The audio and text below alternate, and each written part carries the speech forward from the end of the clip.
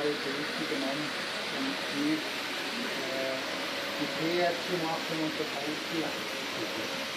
Dann eben haben wir Teilzeitbeschäftigte, äh, ein emeritierter Professor von Freiburg kommt, um die ganz speziellen feinmechanischen Probleme zu lösen. Äh, wir haben auch die Vorstände vorbetreut.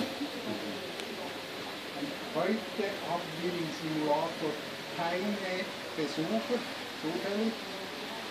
Diesen Simulator noch äh, anschauen könnten, wenn wir uns hier haben wir die Landschaft ja auf zwei Stufen aufgebaut, also sie dürfen ohne weiter.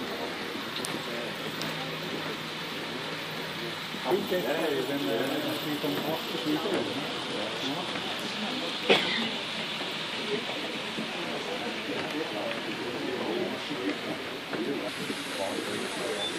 Nous sommes toujours le 11 du 11 2015.